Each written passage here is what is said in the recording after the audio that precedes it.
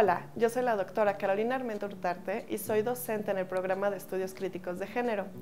Voy a impartir la materia de identidades de género y sexualidad.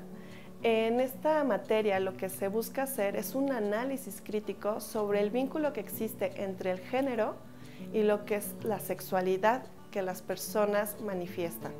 En este análisis lo que se va a hacer es una revisión de la literatura para que se lleve una discusión plenaria dentro de los estudiantes y que nos lleve a reflexionar las preguntas que se puedan plantear. Asimismo, se va a hacer un análisis de diversos elementos sociales que se estén dando en el contexto mexicano, así como la revisión de películas, series, que nos permite entonces dar una visión sobre todos los elementos que se han manifestado sobre la sexualidad a lo largo del tiempo.